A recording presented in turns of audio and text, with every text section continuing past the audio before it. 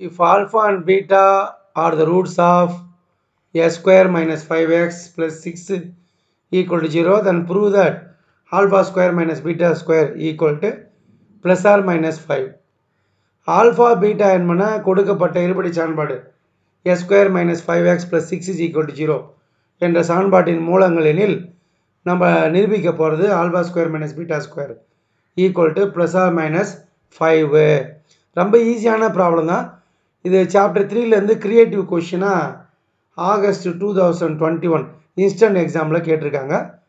பாருங்கள் முதல்ல given quadratic equation கொடுக்கப்பட்ட இருபடி சமன்பாட்டை நம்ம எடுத்துக்கிறோம்.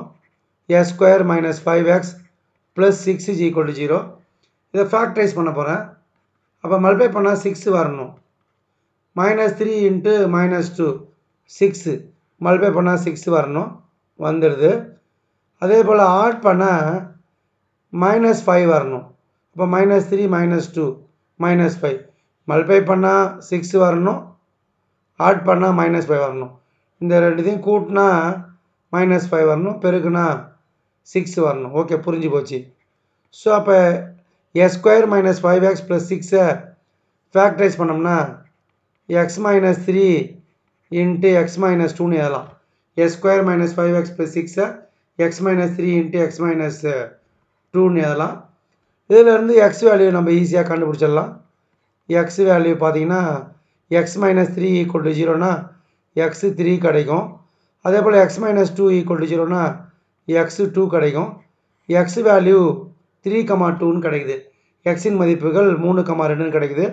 இதிலேருந்து என்ன தெரியுதுன்னா ஆல்ஃபா பீட்டா என்பன இந்த சமன்பாட்டினுடைய கொடுக்கப்பட்ட சமன்பாட்டினுடைய மூலங்கள் அதனால் இது ஆல்ஃபா பீட்டான்னு எடுத்துக்கலாம். ஆல்ஃபா பீட்டா அது rules of given quadratic equation அதனால் இது ஆல்ஃபா பீட்டான்னு எடுத்துக்கலாம். இப்போ எடுத்துக்கும் போது நம்ம என்ன ப்ரூவ் பண்ண போகிறோன்றதை ஒரு தடவை பார்த்துடணும்.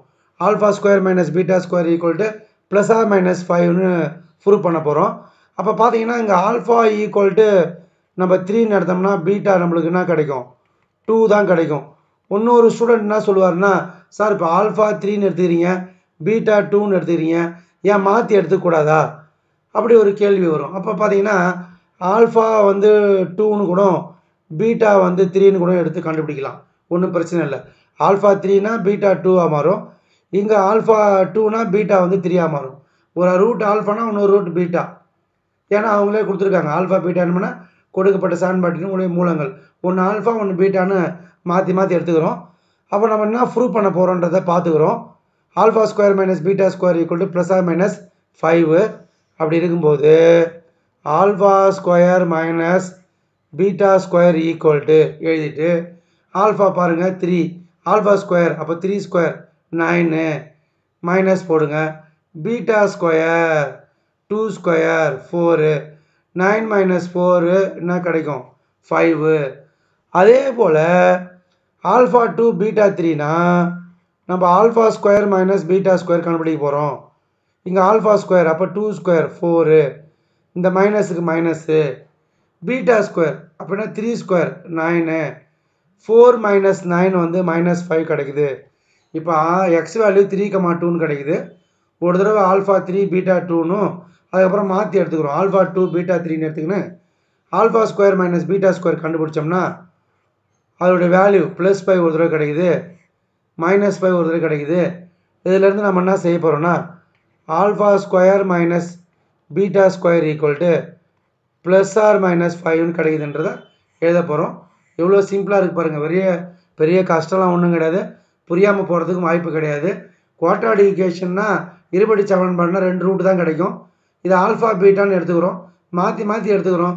ஒன்று ஆல்ஃபா ஒன்று பீட்டானா அதுக்கு அடுத்ததாக மற்றொன்று ஆல்ஃபா அப்புறம் பீட்டான்னு எடுத்து alpha square minus beta square கண்டுபிடிச்சோம்னா நம்மளுக்கு கிடைக்கிறது ப்ளஸா மைனஸ் ஃபைவ் தேங்க்யூ